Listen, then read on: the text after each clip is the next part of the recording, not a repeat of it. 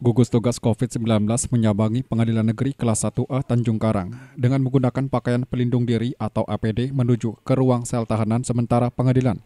Petugas pemeriksa satu persatu sejumlah pegawai maupun hakim untuk diambil sampel cairan dari hidung atau tes swab.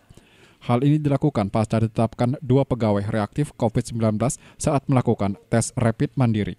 Namun saat melakukan tes swab, kedua pegawai itu dinyatakan negatif dari COVID-19.